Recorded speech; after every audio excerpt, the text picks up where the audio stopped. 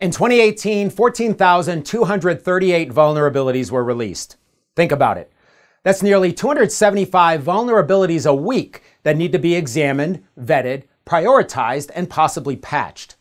No one can patch all the open and critical rated vulnerabilities without abandoning all other useful work. The good news is that you don't have to.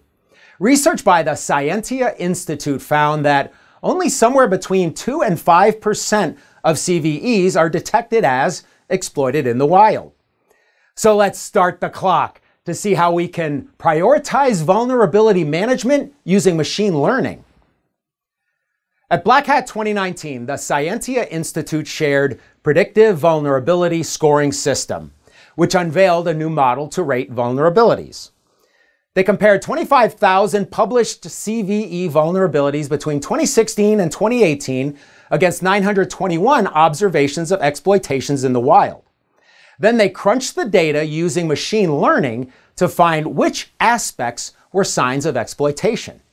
Now we have clues as to which kinds of vulnerabilities to patch first. Based on the machine learning analysis, there were 16 significant factors usable to determine predictability. Of these, the four major categories are who wrote it, the type of impact, how the vulnerability can be exploited, and the count of references published with the vulnerability. In short, popular software that is easily remotely exploited to inject arbitrary code was more likely to be attacked. This model works by tallying up all these weights and adding them to a base factor number. You can use that number with a natural log calculation to find the probability. I know it sounds complicated, but you can plug all these factors and weights into a simple spreadsheet. Don't like math? Use the following rule of thumb.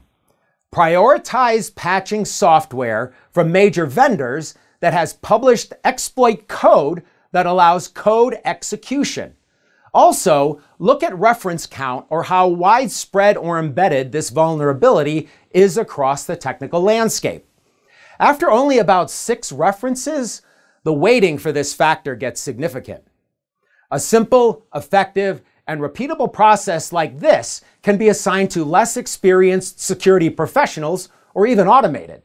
The EPSS model is definitely worth adding to the arsenal of security operational processes.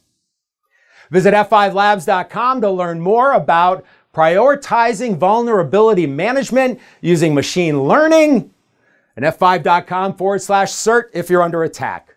I'm Peter. Thanks for watching. Like and subscribe if you haven't, and I'll see you next time on 90 Seconds of Security.